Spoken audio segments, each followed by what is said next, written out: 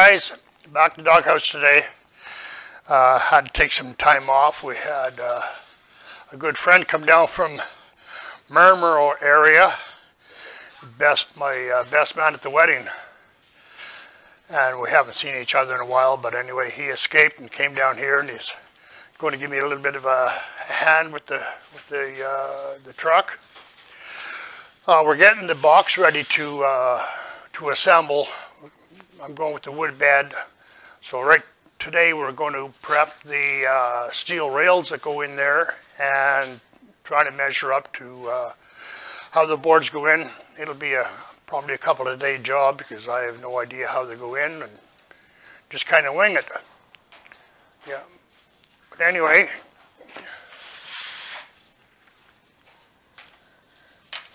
George is here working on it. Say hello, George.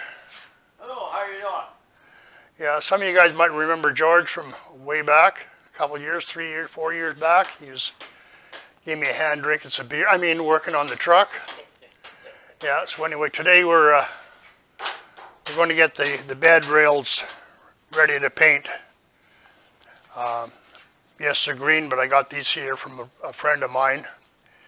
The uh, they weren't the right size for his truck, and so he gave them to me, and I'll take anything free. So hang around guys, we'll see, see how this, this box turns out.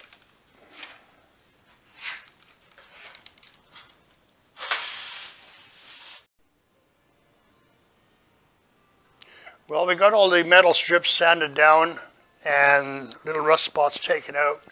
There was uh, rust spots here on the end. You can see here, there was all rusty.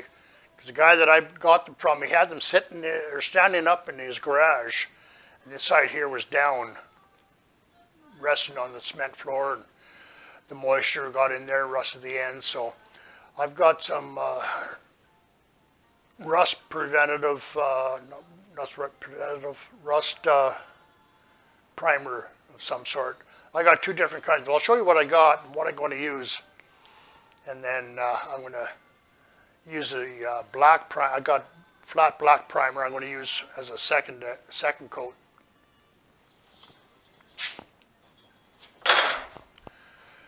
Here I got, I got this stuff here called Rust Killer. Got that from Canadian Tire. Uh, it actually is a primer and it comes gray. The other stuff I have is uh, made by the same company. It's a, it's a rust killer as well. And it, what it does, it takes the rust and turns it into a primer. But anyway, I, I want to use this here because I just want to, I just want to use it up. So anyway, I'll, uh, I'll bring you back when we're done. Hang in. Hey guys, uh, last couple days we've been kind of slacking off here, but we've been uh, kind of visiting, drinking some beer, having some fun. So we haven't, I haven't done very much with the uh, with the Fargo, but we did manage to get the seat in. That's a, that's a plus. I had, like I said before, uh, I have to go had to go back with, with the original seat because there wasn't enough room between the uh, steering wheel and my belly with the the other seat. So we put the, the Fargo seat back in. Got the uh, the floor covering in, which is good. And right now we're going to start working on the, the rims. I got to get the rims done because I need tires for the safety. So right now we're going to get the get the hand grinder and uh, grind off all this paint, prime them, paint them, and uh, get it done. I'm not too sure what color paint to paint them. I was thinking about red, or kind of a red, orangey red or something like that. And uh, if you guys got any suggestions, uh, just drop them in the comments. Yeah, but anyway, George, he's, he's getting ready to do the, uh, the sanding on it. I guess he's doing more looking than anything else right now. But anyway, we'll get at these at these tires and uh, or the rims, I should say. Uh, we'll get back to you shortly. Thanks, guys.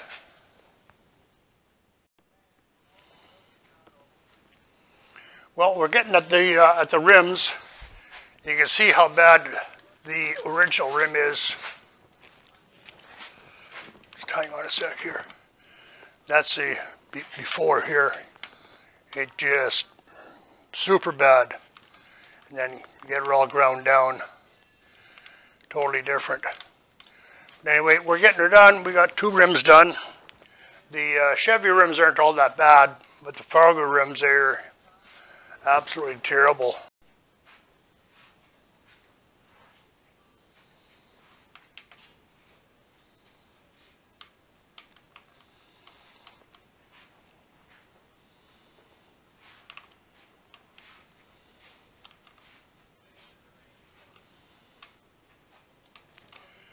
But once you're painted up, that'll be good. I'll spray my uh, rust inhibitor on there.